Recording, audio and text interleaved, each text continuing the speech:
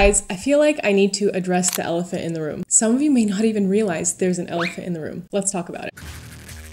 Okay, Genetics versus oral health. Are these two related? How much does one affect the other? And is there any correlation? Yes and no. Less than you think. Here's the thing I would get a lot of patients who would come in and automatically just say, My teeth are horrible, it runs in the family, it's genetic, sorry. And while this may be true, another thing that often just so happens to run in the family is bad oral care and dental hygiene. So I actually end up finding out that they either don't floss or floss very rarely, or when I have them show me how they brush their teeth, it's just a very bad technique. So, more often than not, what people think is genetics is actually a generational lack of awareness of how to take care of their their teeth. Now, that being said, absolutely genetics does play a role. Sometimes I have patients who come in and have horrible oral care. I mean, they don't floss, they brush twice a week or something atrocious like that, and their teeth are okay. And then I have some people who come in and are super diligent and meticulous with their home care, but their mouth is a train wreck. Okay, maybe not so bad, but not so great. But this is a much smaller percentage of the population. Usually, your oral health correlates pretty consistently with your oral hygiene routine, as well as diet and lifestyle. Now, I feel like I'm going to be getting questions about this, so I'm just going to address this right away. A couple of reasons for bad teeth, despite great oral home care, include developmental conditions of teeth like enamel hypoplasia, basically when your teeth, while you were a fetus, didn't develop properly and the enamel is super brittle. Also, also, autoimmune conditions,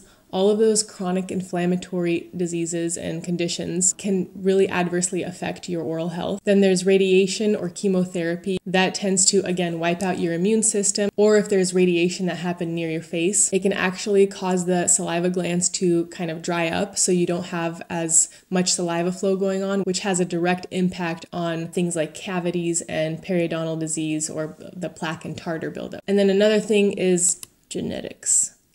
I'm saying it in a very lowercase way because usually when I throw out the word genetics, people oftentimes just kind of chalk it all up to genetics and don't even bother trying to take care of their teeth because they're like, oh, well, it's genetics. I give up. By the way, if you guys are finding this video helpful so far, don't forget to give it a thumbs up and subscribe to my channel for more videos like this. Anyway, my point is genetics loads the gun, but lifestyle pulls the trigger.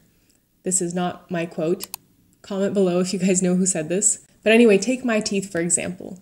As a kid, I used to get a lot of cavities, like a lot. Luckily, most of them were on my baby teeth, and just a few of my permanent teeth got scathed. Scathed?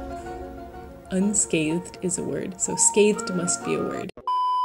Anyway, some of my permanent teeth got cavities, but not a lot. By then, I developed a healthy OCD habit and was very meticulous with my home care.